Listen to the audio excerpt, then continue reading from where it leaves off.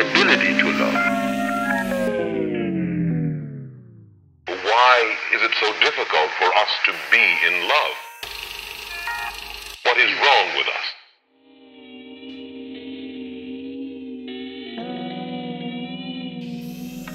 We are concerned with things. We are concerned with success. We are concerned with money. We are concerned with instrumentality.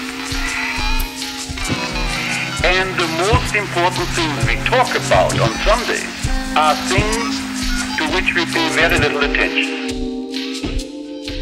Love is not easy. Happiness does not exclude sadness. If a person responds to life, he sometimes happy, sometimes sad. What matters is he responds.